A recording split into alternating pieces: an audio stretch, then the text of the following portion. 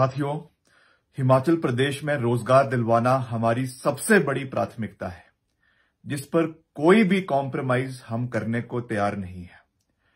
कुछ दिन पहले मैं रामपुर क्षेत्र में गया था और वहाँ पे हमें जानकारी मिली कि जो लूरी सुन्नी प्रोजेक्ट लग रहा है, उसमें जो ठेकेदार है, वो बाहर के प्रदेश के लोगों को प्राथमिकता दे रहे हैं।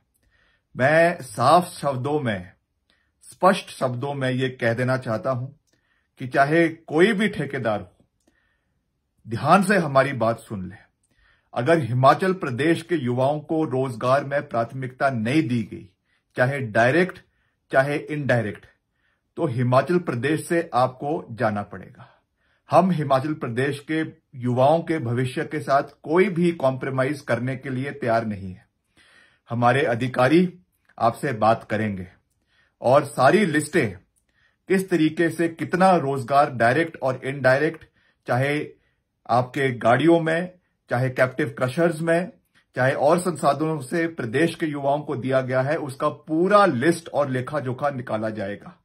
अगर बात अधिकारियों से, वार्तालाप से बनती है, जो हम चाहते हैं कि बने तो अच्छी बात है। अगर नहीं बनती है तो हम प्रदेश के युवाओं के लिए, लड़ाई लड़ने के लिए और ज़मीन पर उतरने के लिए पीछे नहीं हटेंगे। मैं ये बात बिल्कुल स्पष्ट शब्दों में जो है वो कंपनी के अधिकारियों को और ठेकेदारों को कह देना चाहता हूँ। समय आपके पास है। कृपया करके आप कार्य करें। आपका स्वागत है। मगर प्रदेश के युवाओं को प्राथमिकता दे, वरना आप हिमाचल प्रदेश से जाने के लिए तैयार हो जाए। जय हिंद, जय हिमाचल।